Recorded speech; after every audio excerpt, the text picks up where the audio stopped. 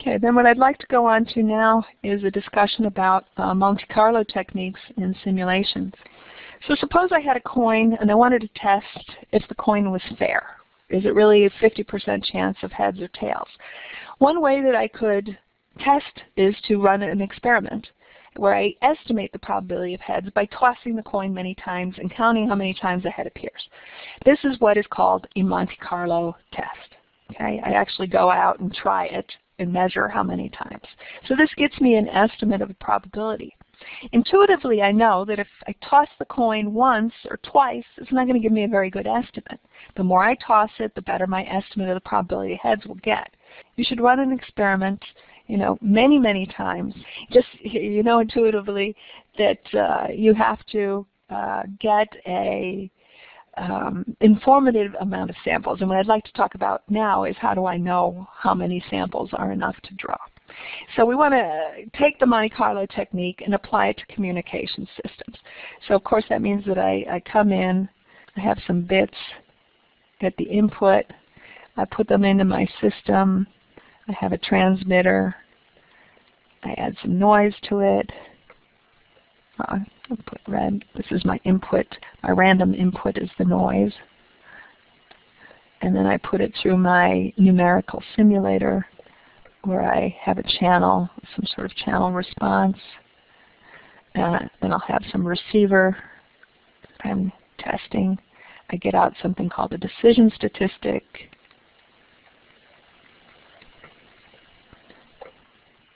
I have a decision rule, which makes me pick what bit was sent. So here I have a bit estimate. So this is what my Monte Carlo simulator will do. It will generate bits. It will generate noise samples. It will run them through this numerical simulator where each one of these boxes is implemented uh, numerically.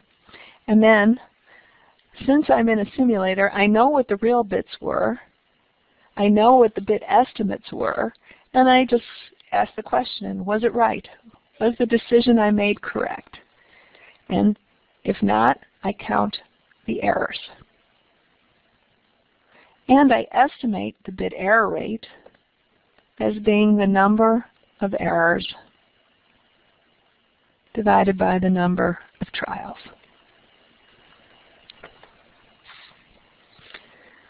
So I can use uh, this approach in any numerical simulator, be it MATLAB or OptiSystem, to help me estimate the bit error rate whenever I'm using uh, a system which is non-ideal in some way, where my analytical equations are no longer valid.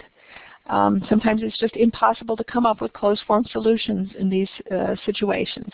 But in there, so in this way, the numerical simulator uh, is really the only way we have short of going into the laboratory to find out what's going on the, there are all kinds of non-idealities we might want to check. Non-Gaussian noise, whether we have a nonlinear channel, uh, the effect of finite precision in some of our components in the digital signal processing, quantification noise, phase error, timing error, intersymbol interference. You know, there's all kinds of effects that we understand how they're introduced. We can numerically model them, but for which we cannot come up with a, an analytical expression for the bit error in uh, this simulation, we have to uh, generate two sets of random variables, the data and the noise.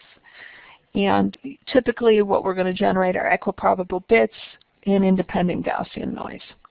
Of course, sometimes there will be other situations, and a numerical simulation also lets you examine non-Gaussian noises, which uh, can be useful when we run these uh, simulations, we can run the same experiment many times, and each time we can estimate the bit error rate.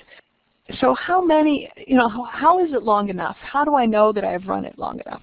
Well, if I don't measure any errors, does that mean the bit error rate is zero? Or does it mean that I haven't run enough trials? Well, of course, the only way to know is to run more trials. So you run more trials. Maybe you finally get one error.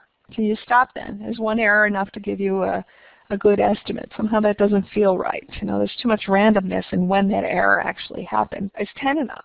Is 100 enough? You know, what, what, are, how do I know when I've gotten a reasonable uh, estimate? So a reasonable estimate of BER, you know, what's the criteria? And what we often talk about is a stopping criteria. Because if I you know, had infinite simulation power and I just ran a bazillion trials, and I got a million errors. And I took it a million divided by a bazillion, and I'm not sure what that gives, but whatever it gives me is the uh, bit error rate. Okay, I had a million errors. I probably got a pretty good estimate. But what what happens if I, I don't have infinite computing time and, and I want to know, you know, when to give up or when is good enough? And to do that, I typically use not deciding ahead of time how many trials to run, but to run trials until some criteria is met, until I can stop. And the stopping criteria is usually something like 10 to 100 errors is a typical stopping criteria in a bit error rate Monte Carlo uh, simulation. Um, also, I, I want to mention that I call these uh, numerical simulations, but actually when you go in the laboratory and you want to measure bit error rate, you're just running uh, the same system, but this time uh, with hardware instead of with software. And actually you're also estimating bit error rate. So if you're running a system and you want to know how many errors do I need to know that I have run my BERT long enough to get a good estimate of the uh, bit error rate, or if I'm offline processing a coherent detection system, how do I know that I have captured enough data to make a, a, reliable estimate of the bit error rate? It comes to the same stopping criteria. It's the same, same uh, mathematics. That, and the good rule of thumb is between 10 and 100. 100 is better, but if you really, really can't get to 100, then 10 will give you, you know, something that's uh, uh, reasonable. So remember, applies to uh, BERT, bit error rate tester measurements.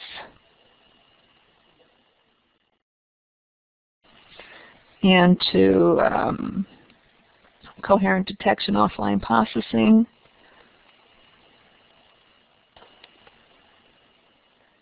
and to numerical simulations.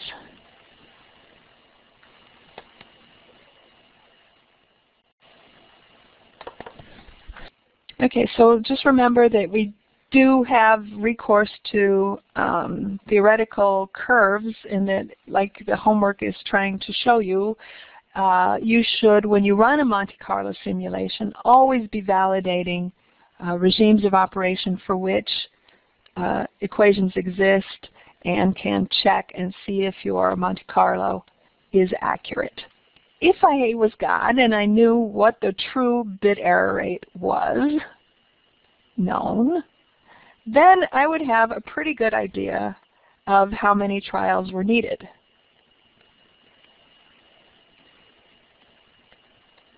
Right?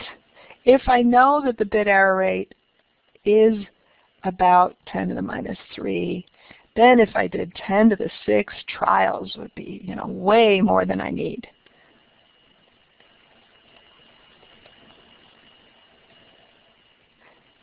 If you knew the bit error rate, you would know how many trials to run. But of course, you're running these trials because you don't know the bit error rate, so it's not really useful, except that we'll, I'll try and explain where this rule of thumb of 10 to 100 counts comes from.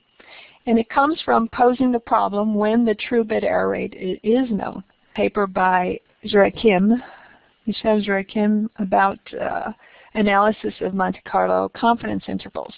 And so what you'll see in that paper is these curves if you uh, look at the curves here, what we're plotting is the, and the x-axis are the total number of bits observed, so it's the number of trials in your uh, system. And on the left is the uh, bit error rate that you're going to get as an estimate when you do that many trials. And these curves are generated when the, the true probability of error, the true BER, is equal to 10 to the minus k. So here we have the true one is how we're centering our plot in our calculation. And k doesn't have to be an integer, but you know whatever the bit error rate is, these curves, and I, I won't go into the derivation of the curves, it's in the paper if you're interested, but uh, what we see uh, labeled here are different confidence intervals. So if I look, for instance, at the curves for 90 confidence intervals.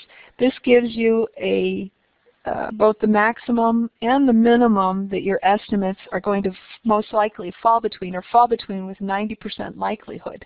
So if I were to do 10 to the k simulations and their the probability of error was 10 to the minus k, then you know these would be the bounds that with 90% probability, I would my estimate would fall somewhere in that range.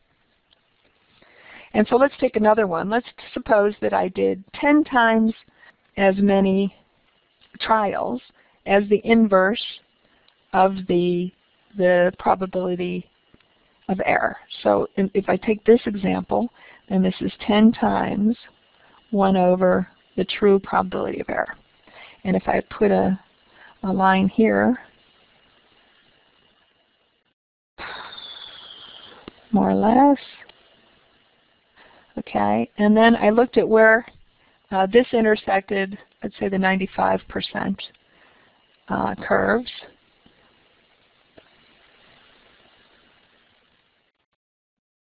Well, and don't draw very straight lines, but um, trust me. Oops. This is happening at about uh, 2 times PE, it's this point there, and about 0.5 times PE. So that means that uh, for 95% confidence that my estimate will be within a factor of 2 of the true value, I have to run about 10 times uh, more trials than the inverse of the um, true probability. Of course, the problem is that we, we don't know the true probability. Uh, obviously, that's why we're trying to estimate it. Therefore, I, I, I can't really compute how many trials I need. If I knew I could compute it. So now we think about one approach we could use is to count errors. If I measured 10 errors, then maybe I have run about 10 times 1 over PE, right? If I ran 10 times, then the expected number of errors would be equal to 10. So suppose I count 10 errors.